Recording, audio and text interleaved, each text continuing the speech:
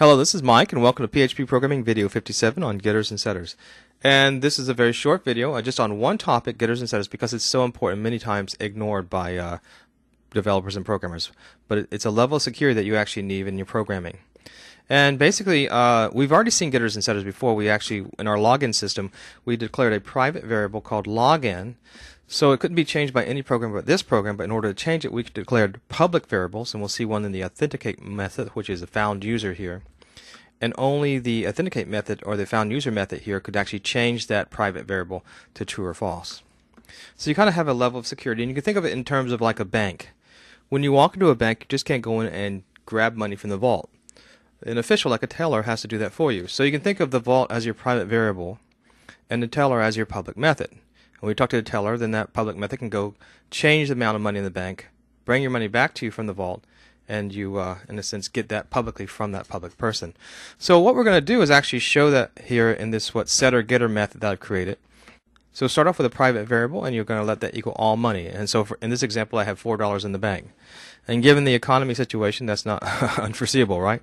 So I'm going to create two public methods. One uh, method to basically tell me how much money is in there, which I'll call get method, and one which gives me ability to change that method, or I'll call that set money. So you can see pretty much all I'm going to do is return the amount of money that I have in my public get money method. And in my uh, function with set some money, I just set a new value for the money. Let's go ahead and go to PHP Eclipse and actually run the program. So we're in PHP Eclipse, we're in lesson 57, and we're going to run the setter getter method. Now once again, all you want to do is declare it uh, with the new variable and then set your handler. And in the first part, what I'm going to do is basically just run the get money method, which is going to run this public method, which pretty much just reads this variable.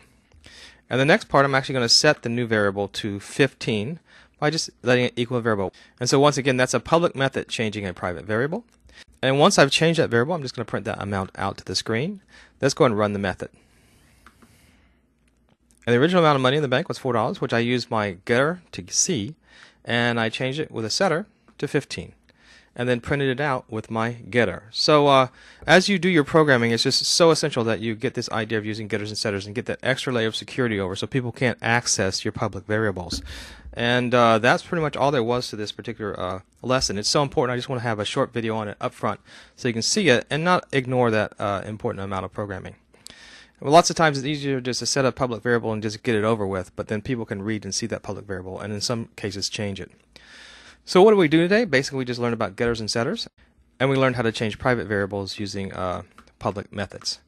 And uh, that's pretty much all there was to this lesson. Uh, next time, we're going to move on to Facebook applications. So thanks for listening. This was Mike Lively, and I'll see you then.